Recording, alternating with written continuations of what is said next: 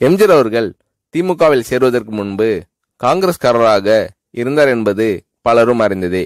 ஆயிரத்தி தொள்ளாயிரத்தி முப்பத்தி மூணுகளில் காங்கிரஸ் இயக்கத்தில் உறுப்பினராக அல்லாமல் அக்கட்சியின் உண்மை ஊழியனாக மட்டுமே இருந்த எம்ஜிஆர் அவர்களை காங்கிரஸ் கட்சிக்குள் ஈர்த்தது காந்தியின் கொள்கைகளே முதல் காரணமாக இருந்தது என்றாலும் சுபாஷ் சந்திர போஸும் எம்ஜிஆர் அவர்களுக்கு பிடித்தமான தலைவராக இருந்ததும் தான் அந்த காலகட்டங்களில் காங்கிரஸில் உள்ள ஈடுபாட்டின் காரணமாக கதர ஆடைகளையே அணிந்து வந்தார் எம்ஜிஆர் அவர்கள்.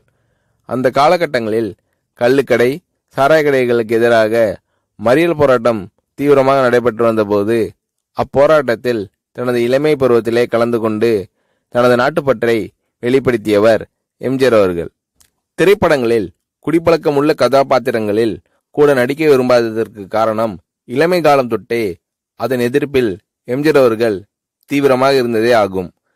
எம்ஜிஆர் அவர்கள் தனது சிறு வயதில் சென்னை வால்டாக் சாலை பகுதியில் தனது அண்ணன் சக்கரபாணி மற்றும் தனது தாயாருடன் வசித்து வந்த சமயத்தில் Madurai original boys company Chennai ஒற்றவாடை தியேட்டரில் நடத்தி வந்த பதிபக்தி நாடகத்தில் நடித்து கொண்டிருந்தார் எம்ஜிஆர் அவர்கள்.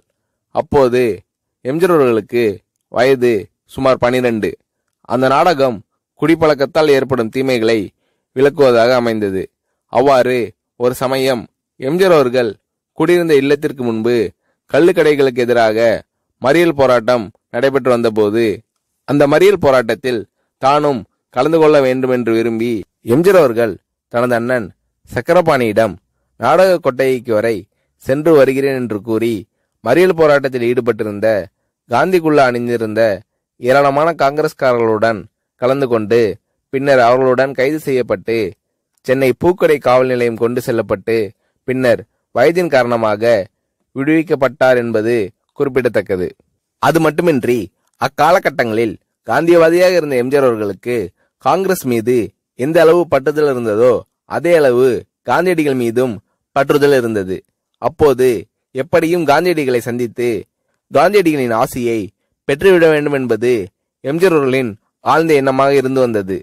காந்தியடிகளை சந்திக்க வேண்டும் என்ற எம்ஜிஆர் அவர்களின் உண்மையான உணர்விற்கு வழியும் கிடைத்தது. அப்போது எம்ஜிஆர் அவர்களும் அவரின் அண்ணன் சக்கரபாணியும் நடித்து வந்த ஒரிஜினல் பாய்ஸ் கம்பெனி சென்னையை விட்டு வெளியூர்களுக்கு நாடகம் நடத்த புறப்பட்டது. அக்கம்பெனி காரைக்குடியில் நாடகம் நடத்தி கொண்டிருந்த சமயத்தில் தமிழகத்திற்கு சுற்றுப்பயணமாக வந்திருந்த காந்தியடிகள் காரைக்குடியில் நடைபெற்ற பொதுக்கூட்டம் ஒன்றில் பேசிக் கொண்டிருந்ததை அறிந்த எம்ஜிஆர் அவர்கள் நாடகம் முடிந்த கையோடு அண்ணன் சக்கரபாணி மற்றும் நாடக நடிகர் கே பி கேசவன் போன்றவர்களுடன் சென்று அக்கூட்டத்தில் கலந்து கொண்டார் எம்ஜிஆர் அவர்கள். அப்போது காந்தியடிகள் குவேட்டா பூகம்பத்தில் பாதிக்கப்பட்டவர்களுக்கு நிதியுதவி வழங்குமாறு கேட்டுக்கொண்டார். பொதுமக்கள் அனைவரும் வரிசையில் நின்று தங்களிடம் இருந்த பணம் மற்றும் பொருட்களை காந்தியடிகளிடம் கொடுத்தனர். சக்கரபாணி உட்பட உடன் வந்திருந்த யாரிடமும் அப்போது பணம் எதுவும் இருக்கவில்லை.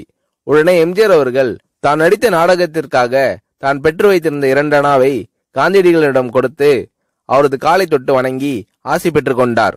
தனது திரைப்படங்களில் தனது அரசியல் ஆசான் பேரறிஞர் அண்ணா அவர்களுக்கு எப்படி உயர்ந்த இடம் அளித்து கௌரவப்படுத்தினாரோ அதே போன்று காந்தியடிகளையும் காந்திய கொள்கைகளையும் தனது திரைப்படங்களில் நினைவு கூற தவறவில்லை எம்ஜிஆர் அவர்கள். இவ்வாறு தனது சிறு வயது முதலே நாட்டுப்பற்றையும் தேசத்தின் நலனையும் தன்னோடு பதித்துக் கொண்டு நாட்டிற்காக பாடுபடும் மகாத்மா காந்தி போன்ற தலைவர்களின் கரங்களுக்கு தன்னாலான வலு சேர்க்க வேண்டும் என்ற உயரிய எண்ணத்துடன் வாழ்ந்து காட்டியவர்தான் எம்ஜிஆர் அவர்கள்.